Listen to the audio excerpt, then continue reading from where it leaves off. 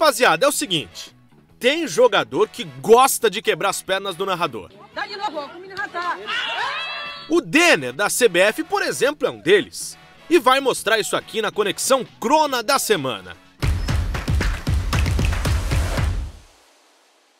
Presta atenção no cronômetro do jogo. O Jack tinha acabado de abrir o placar lá em Carlos Barbosa. Eu tava lá, todo empolgado, pá, gol do Joinville. Mas, do nada, Evandro pega uma pancada de perna direita, reveja! Agora zero a CBF, um para o Joinville e a resposta imediata pro gol! o Richard já tava metendo o gol de empate do outro lado depois desse passe perfeito do Denner. Aí fica f...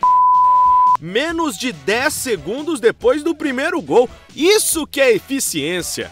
Que tapa perfeito do Denner, que deu essa assistência para ajudar na vitória do Carlos Barbosa sobre o Jack.